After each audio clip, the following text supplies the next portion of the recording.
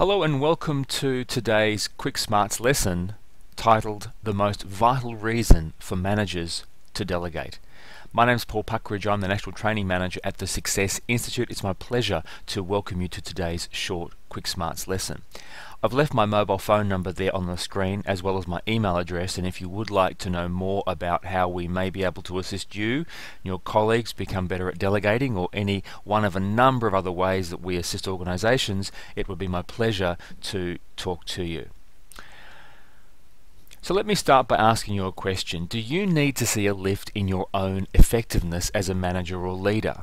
Do you feel that although you're very busy when you get to work, in fact you probably come in early or stay back late, don't take time for lunch every day, you're not as productive or as effective as you really want to be? And that's one of the main considerations when looking at ways of developing your delegation skills. So what if you could find more time? What if you could get more done? What if you could empower your people to take on greater responsibilities for their own work as well as some of the things that you no longer have the time to do? And ultimately, what if you felt as a result of delegating you became a better manager? Good question. What if? So today we're going to talk about learning how to better delegate because at some point we've all delegated whether we do it very well or not so well, we need to understand the fundamental reasons why delegation is important. So let me ask you a question. Have you been to Egypt? Have you seen the pyramids of Giza? Now I know what you're thinking. What has this got to do with delegation? Well, it has everything to do with delegation, but maybe not what you think.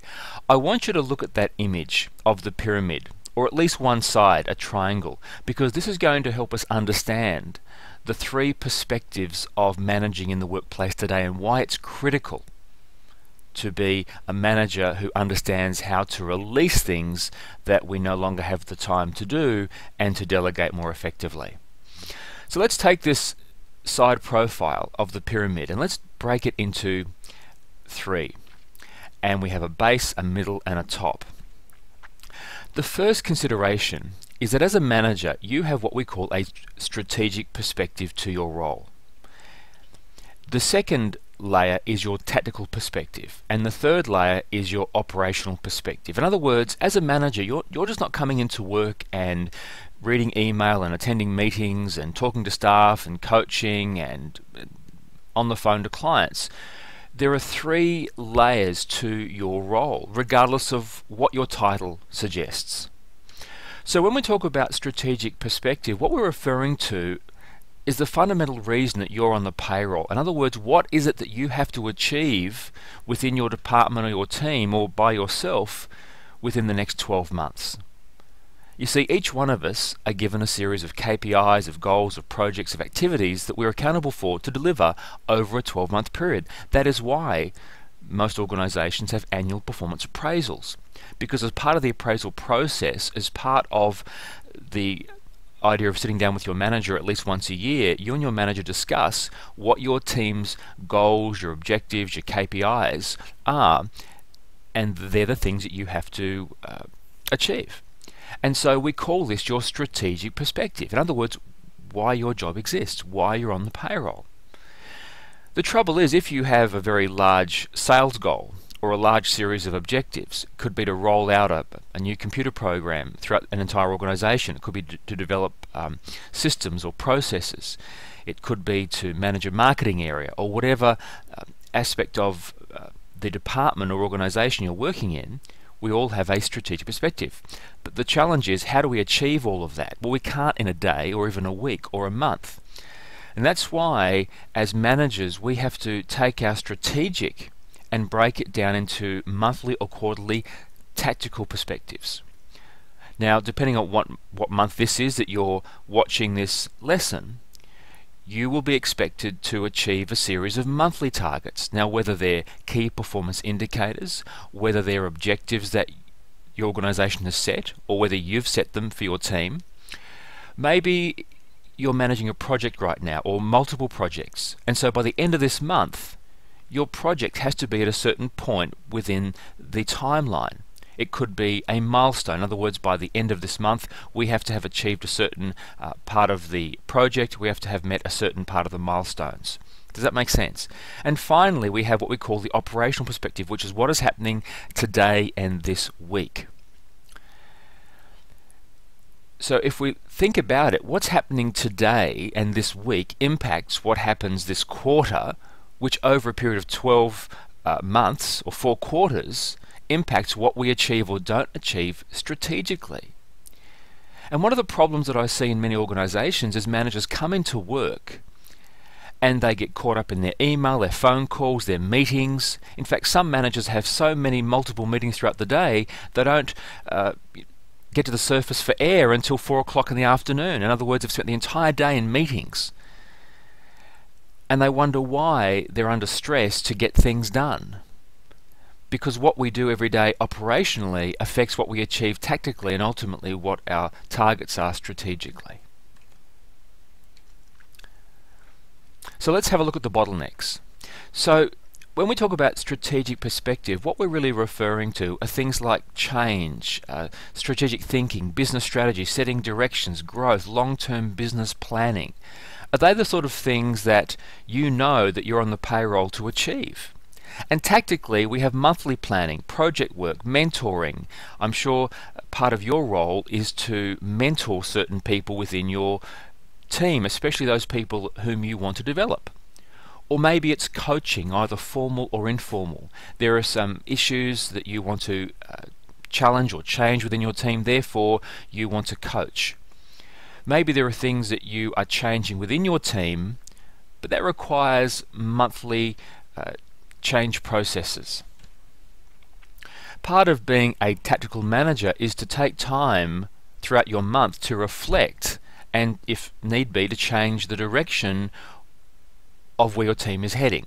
In other words, if it's the middle of the month and you know that you're behind your targets, you're not achieving your KPIs, then you might have to change what you do for the next couple of weeks or put more emphasis into certain people. Does that make sense?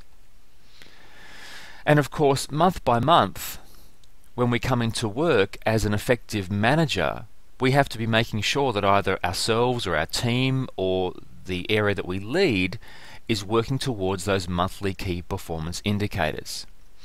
Now, operationally, week by week and day by day, we have meetings, we have problems to solve, we have phone calls, we have bushfires to put out, uh, we have reports to write, we have email to read and respond to. In fact, don't get me started about email. Mind you, we have a very good program for helping manage email called Zero Inbox, which I won't get into now. We're constantly communicating operationally. We're also working on things that are urgent, but not necessarily important, and we're working on tasks that are not urgent and not important. So what does all this mean? Well, it means that a lack of delegation finds managers spending too much time on the stuff. What do I mean by the stuff? It's all that stuff happening hour by hour, day by day, week by week. In other words, the bottleneck is in the operational area of our of our roles. And we're not spending enough time on the tactical or the monthly or the quarterly and the strategic issues that are facing our roles, that are facing the challenges within our team and of course our business. Does that make sense? And I think if you look at yourself and the reason you're watching this is because you know that you need to become more effective at delegating, it's because day by day, hour by hour, sometimes even minute by minute, we're getting so caught up in the minutiae that we're not getting traction on those bigger picture activities. And that's why we need to release some of them to our team members or to other departments and to start to focus more on the bigger picture at least the tactical, because when we achieve things month by month, it means we have a much greater chance and control over achieving what we're expected to do strategically or annually.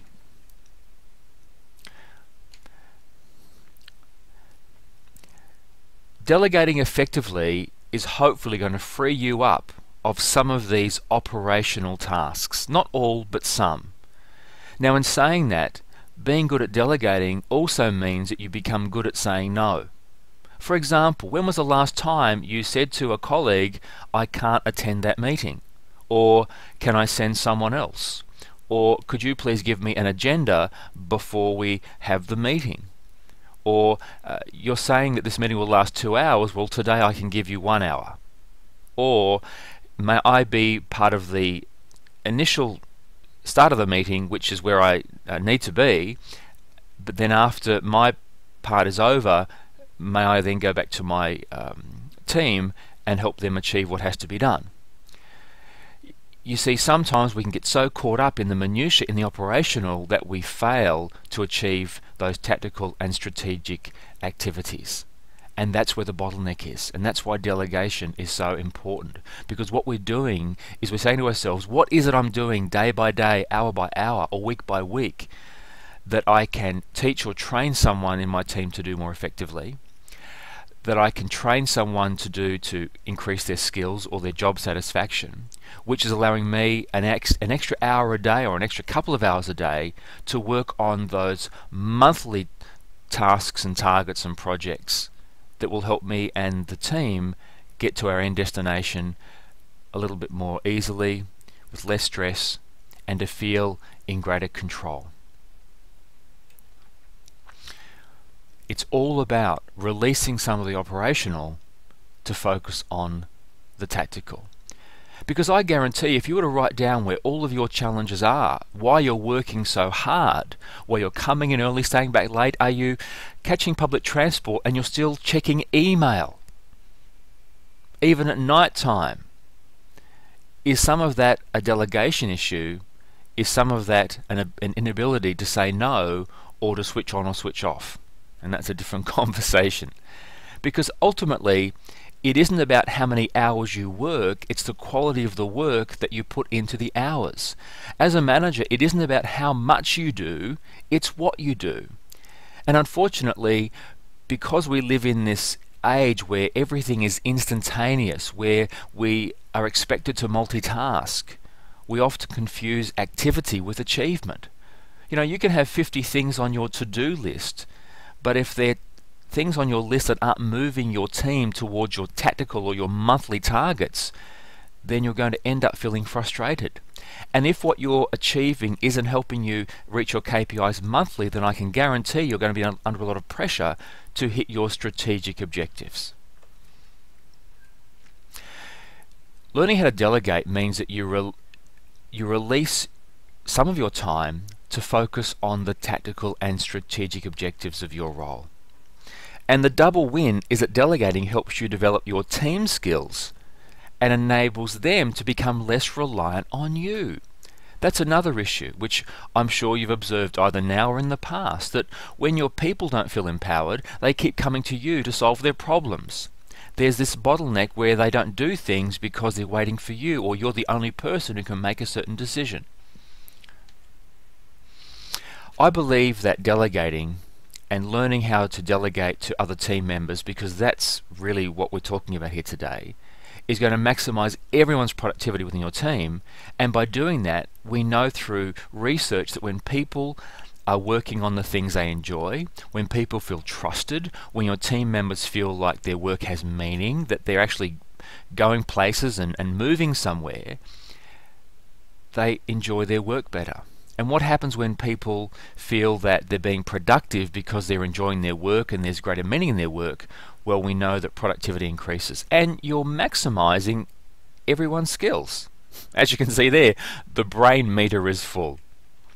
So, thank you for taking the time to listen and watch this little webinar today. If you'd like to know how we can really help you learn to delegate more effectively either by yourself or in your team or your organization. There's my mobile 0419 881891. Yes, that's me on the right hand side. Email p.puckridge at success.net.au and it would be my pleasure to discuss how we can help you or your other managers, your team, uh, learn to uh, release your brakes to become more effective at delegating. So that's the end of today's session. Thank you so much for joining uh, and being here, and I hope to talk to you very soon. Until then, I wish you every success.